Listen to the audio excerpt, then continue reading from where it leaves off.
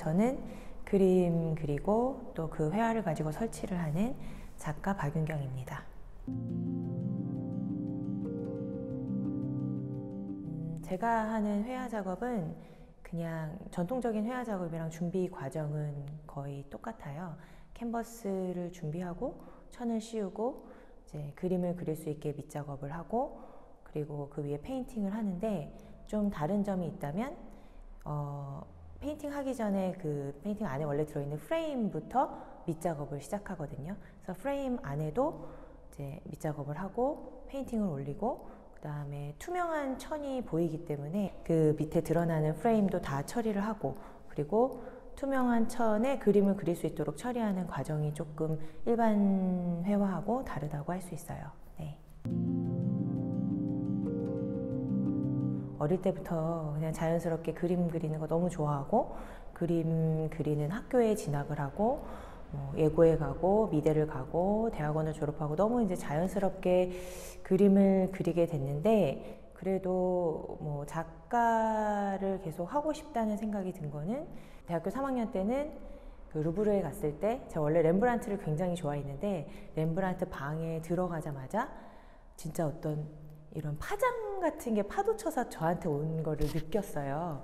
그게 너무 생경하고 너무 놀랍고 책으로 이미 너무나 익숙했던 작품인데 보는 순간 정말 물리적으로 어떤 그런 파동이 온다고 느껴서 굉장히 감동을 받았고 그리고 이제 호암미술관에 칸딘스키가 왔을 때 그때도 작품이 뭐 엄청나게 큰 작품이었는데 워낙에 익숙한 작품이고 칸딘스키 너무 유명한 사람이지만 작품을 보고 압도되고 뭔가 굉장히 사람이 환기되는 거를 느꼈을 때 이런 작품을 너무 대가들이시지만 이런 작품을 할 수 있는 작가가 된다면 너무나 뭐 좋겠다, 멋있겠다 이런 생각을 갖고 좀 꿈을 꿨던 것 같아요.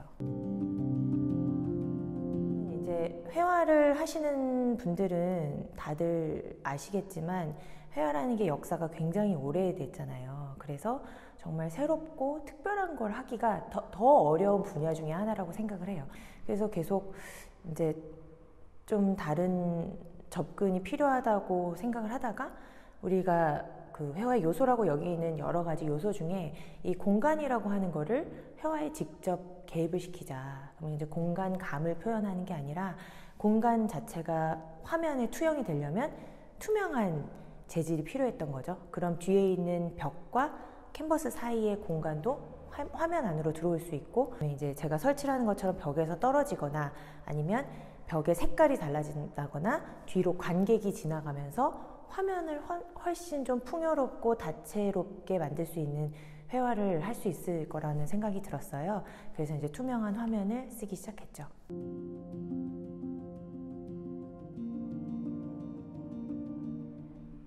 회화를 보거나 미술 작품을 볼 때 작가가 무엇을 의도했는지 파악하려는 감상을 많이들 하시는 것 같아요.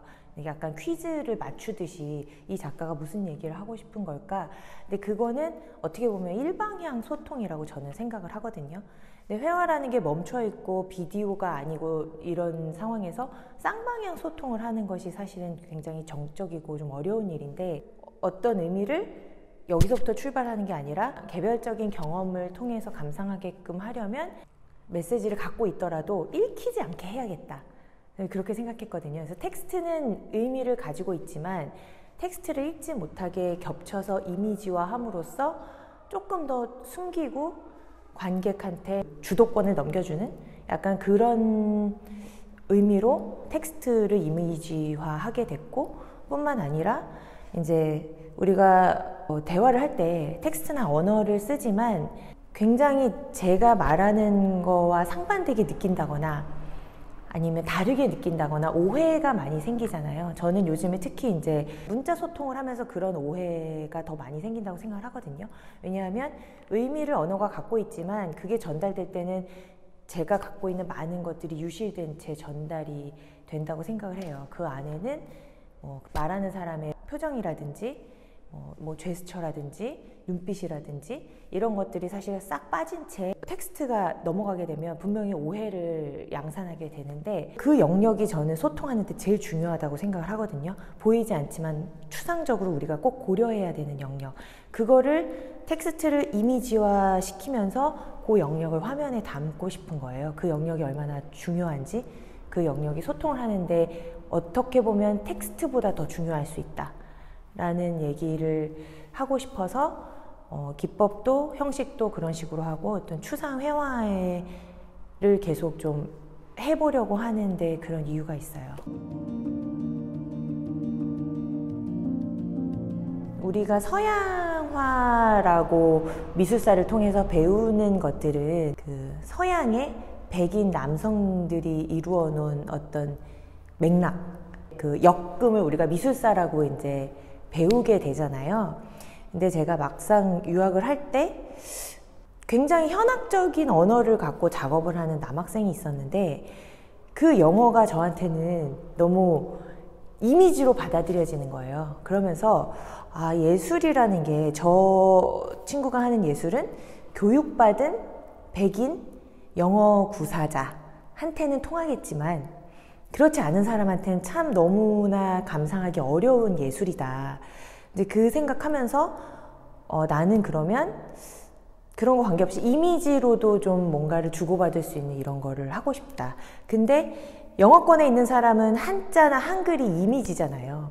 근데 우리한테도 어려운 영어 단어는 사실 이미지나 마찬가지이기 때문에 처음으로 아 텍스트를 이미지화 해야겠다는 생각을 했어요. 그래서 이제 훈민정음을 음가를 다 따서 제가 이제 알파벳으로 나라 말싸미 하면 N A L A에서 나라 말싸미에서 훈민정음을 쫙 이제 쓰고 바로 옆에 있는 친구가 이제 캐나다에서 온 친구였는데 읽어봐라 했더니 너무나 smooth하게 잘 읽는 거예요.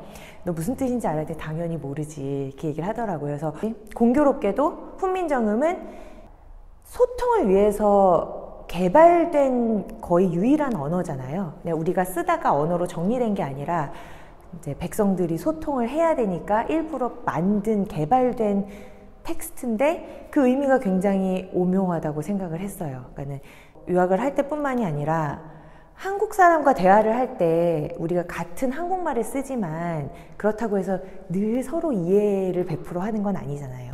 근데 오히려 제가 영어가 주 언어가 아니고 영어가 모국어인 사람과 대화를 할 때 만약에 제가 어떤 단어를 찾지 못한다거나 뭔가를 얘기를 하고 싶은데 그 표현을 찾지 못할 때 그 친구가 어 너 말하려는 게 이런 거야? 이 단어를 지금 네가 생각하는 거니? 이런 걸로 소통이 굉장히 잘 된다는 거를 느꼈어요. 그러니까는 언어가 같기 때문에 소통을 하는 게 아니라 서로 이해하려는 마음이 있으면 오히려 소통이 더 수월하다는 걸 느꼈거든요.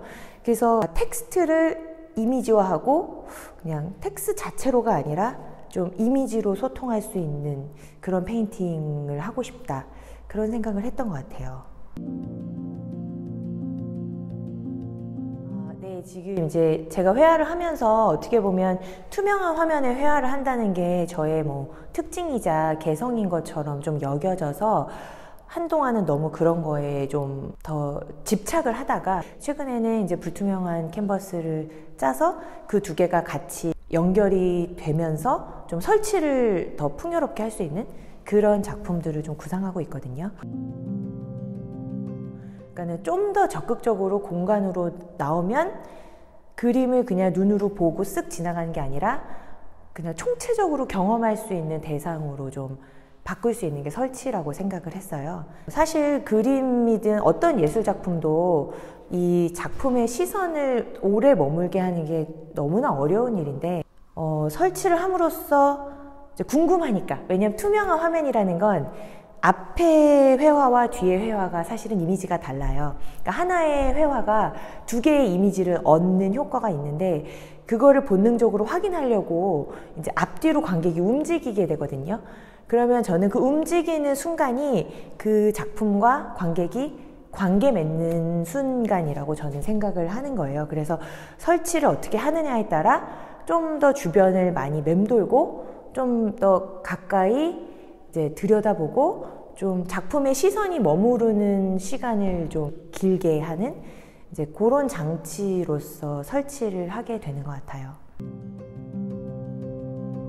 경우에는 제 작품만 있는 게 아니라 다른 작가님들 작품도 있기 때문에 최대한 방해가 되지 않는 선에서 그런 동선을 만드는 거를 좀 고려를 하고 이제 개인전의 경우에는 좀 더 과감하게 관객들이 좀 더 크게 동선을 만들 수 있게 좀 둘러볼 수 있게 좀 뭐 시선도 위 아래로 몸도 어 좀 이쪽으로 갔다가 저쪽으로 갔다가 조금 더 궁금증을 좀 유발하는 그렇게 설치하려고 하는 편이에요. 어 일단 제가 유학 가기 전에 이제 그 홍대 서양학과 4학년 강의를 이제 나가고 있었는데요. 그 친구들이 당면한 상황이나 제가 그 당시 젊은 작가로서 처한 상황이 뭐 궁금해하는 것들 그리고 작가로서 뭐 어떻게 작품 활동을 해야 되는지 뭐 이런 것들이 굉장히 비슷했어요. 그리고 유학을 가기를 원하는 친구들 뭐 외국 생활을 좀 했던 친구들 얘기를 들으면서 학생들한테 더 뭔가 좀 경험치 있는 얘기를 들려주기에도 외국에서 공부를 하고 싶은 욕구도 있었고 일단은 호기심에. 너무 궁금했죠. 유학이라는 건 뭘까. 근데 이제 갔다 와서 느낀 건 조금 더 객관적으로 저를 바라볼 수 있는 시선이 생겼다는 거예요. 그러니까 여기서는 제가 뭐 한국 사람이고 동양 사람이고 여자고 기혼자고 이런 것들이 너무 당연하기 때문에 사실 고려의 대상이 아니지만 이제 가서 봤을 때 이게 굉장히 나의 중요한 정체성이고 이거를 염두에 두지 않을 수 없고 작가로서 이제 그런 생각을 하게 됐고 그 다음에 한국에서 미술 교육을 받았기 때문에 어쩔 수 없이 하게 되는 한국식 감상이라든지 한국 사람 갖고 있는 작업 태도 접근하는 방향 이런 것들이 또 있다는 거를 많이 느꼈어요. 그래서 그런 거에 대해서 조금 더 열리게 되는 좀 자유롭게 되는 계기가 되지 않았나 싶습니다. 유학 갔다 오지 너무 오래돼가지고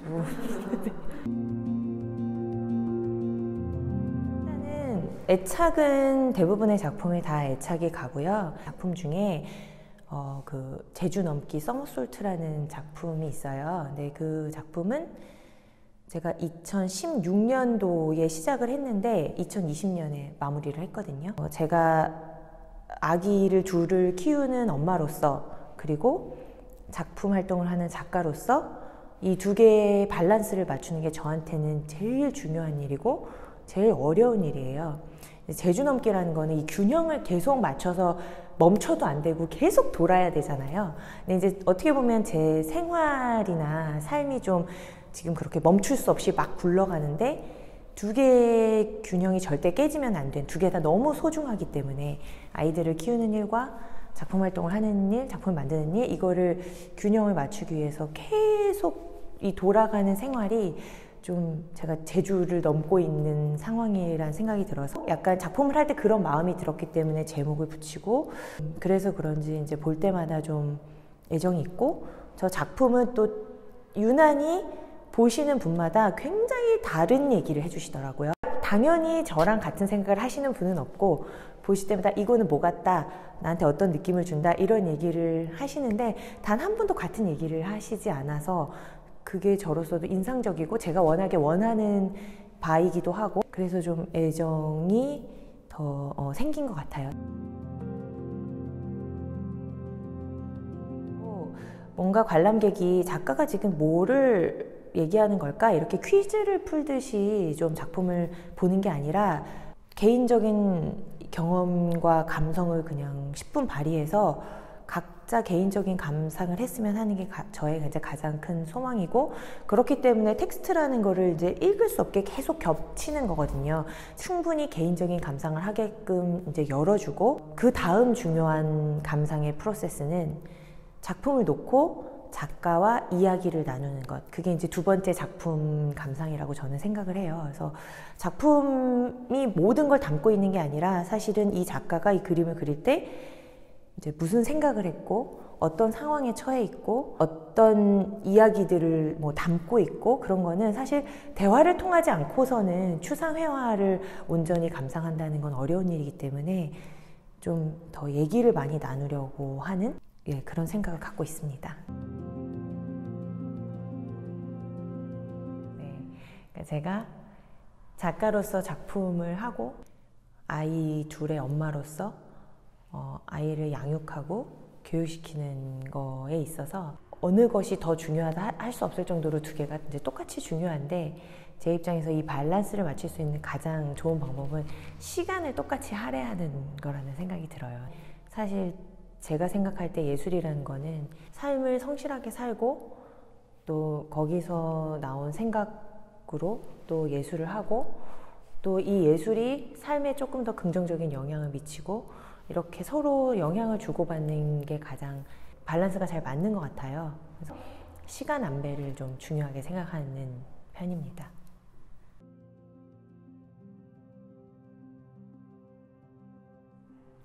네, 예전에 박명록에 제 모르는 분인데 머릿속이 시원해졌어요. 감사합니다. 이렇게 글을 남겨주신 분이 있었는데 되게 기분이 좋았어요. 그리고 이렇게 느끼는 분이 있다면 작업을 계속 해도 괜찮겠다. 뭐 그런 생각을 했던 기억이 나요.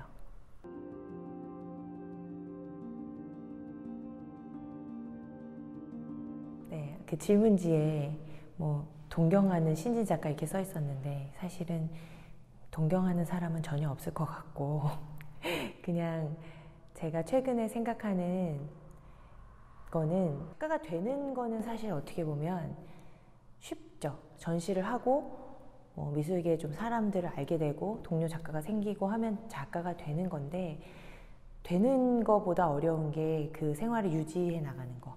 작가 생활을 하는 게 이제 어렵거든요. 되는 것보다.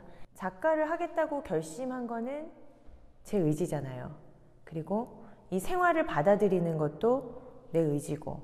하지만 뭐 어디인가에 인정을 받고 초대를 받고 하는 건 제 의지가 아니기 때문에 거기에 연연하는 것보다는 내가 선택한 이 생활을 잘 하겠다. 근데 그게 작가로서는 제일 좋은 태도인 것 같고 작업하지 않는 삶보다 작업하는 삶이 좀 더 재미있는 것 같다.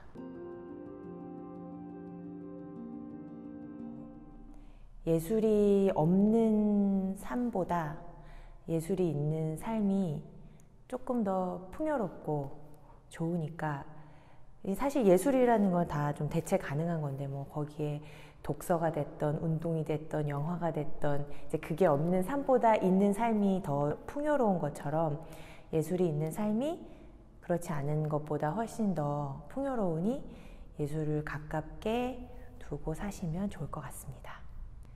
감사합니다. 네.